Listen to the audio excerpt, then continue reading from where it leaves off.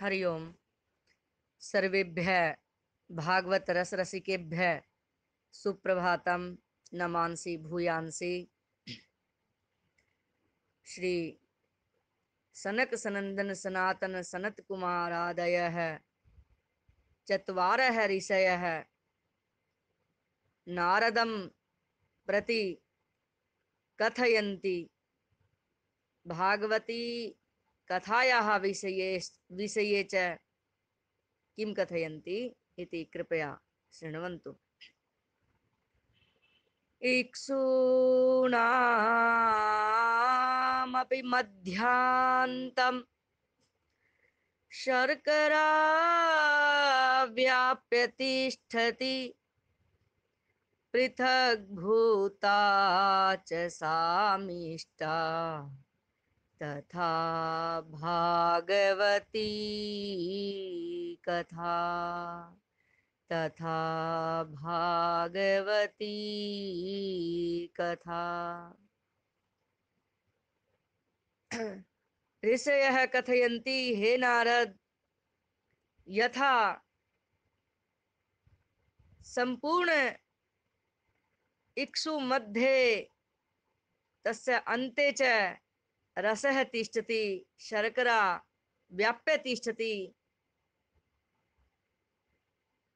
किंच यदा सा शर्करा पृथक्भूता भवति, ततः शर्करा यदा पृथक रूपेण आगच्छति, आयाति वा, तर्हि च सा मिष्टा भवति। तस्य स्वादः तस्य स्वादु मधुरः भवति। इतोपि अधिक मधुरा शर्करा सा भवति।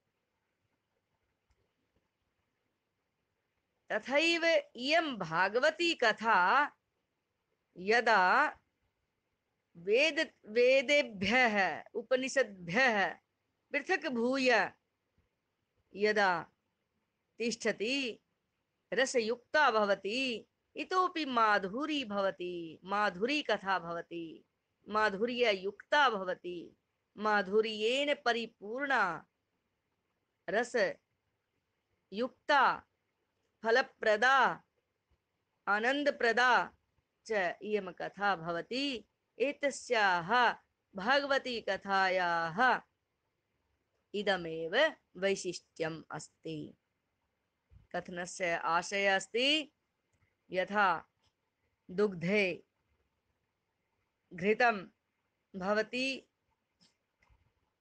रसे वृक्षे आमूलाग्रं रसः भवति तथैव इक्षूणामपि आदितः आरभ्य अन्तपर्यन्तं रसः रसः एव भवति, परञ्च तं रसं वयं तावत् स्वीकर्तुं न शक्नुमः, न प्राप्तुं कर्तुं शक्नुमः, यावत् सः रसः पृथक् न क्रियते। यदा रसः पृथक् भूय अस्माकं पुरतः आगच्छति, तं रसं वयं पिबामः चेत् आनन्दस्य प्राप्तिर्भवति। अधिक मधुरताम् अधिकं मधुरं तस्य रसस्य वयं प्राप्तुं शक्नुमः। तथैव वेदेषु, पुराणेषु, उपनिषदसु यत्किमपि वर्तते, तस्य साररूपेण एव इयं भागवती कथा वर्तते। रस, फलरूपेण, रसरूपेण यदि अस्माकं पुरतः आगच्छति, तर्हि सर्वे भक्ताः तस्य रसास्वादनं कर्तुं शक्नुवन्ति। ॐ धन्यवादः सर्वेभ्यः। नमो नमः।